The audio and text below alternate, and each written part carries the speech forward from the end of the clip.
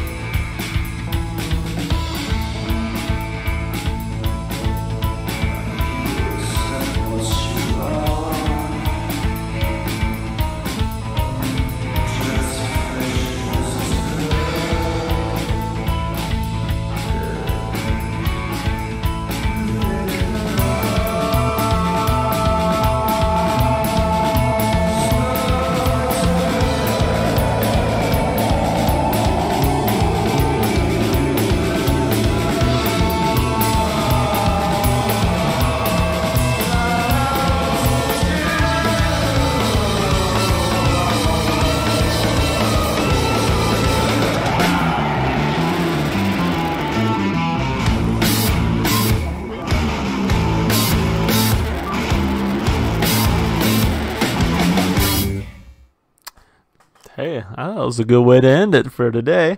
Um, you know, I have a question. How how popular is psychedelic rock? Because I feel like so much of what we listen to today has tones and hints of psychedelic rock here and there.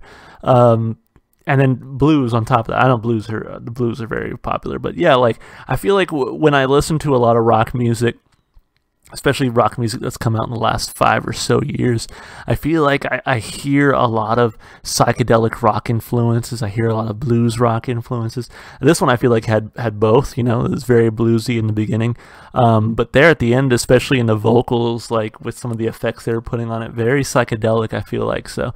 Um, I'm just curious. Did I, did I miss like uh, the the psychedelic train or something? Because I just I, I feel like a lot of what I've listened to today and just recently in general has, has been very psychedelic.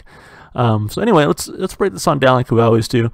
Um, starting of course with the lyrics. So, can't afford to lose my head, lose my head, can't afford to lose my cool. You'll blow them all in King Dumb Come, King Dumb Come.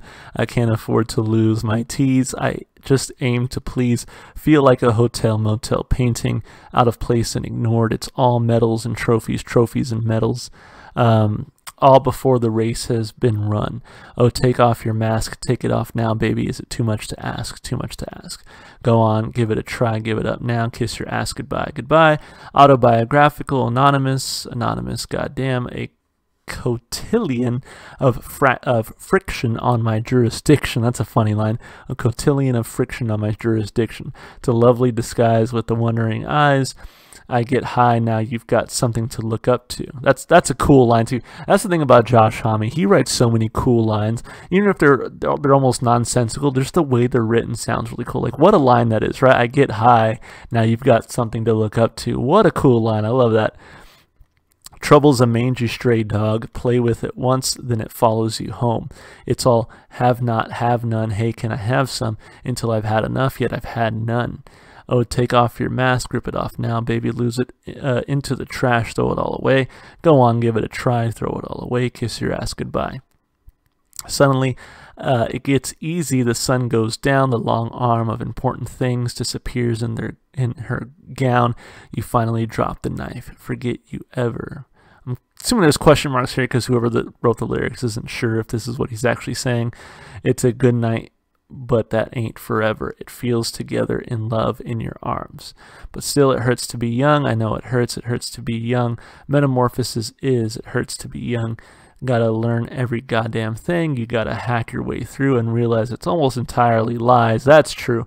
When you're young, your perception of the world is totally different, and, and you grow and realize that, yeah, you know, you didn't always have it right. But then you'll begin to smile, smile for me real when you accept what you are. The transformation is done. You've become absorbed into, and you know, I think I know what to do. Interesting. I'm not entirely sure what the song is about. Maybe it is about growing up.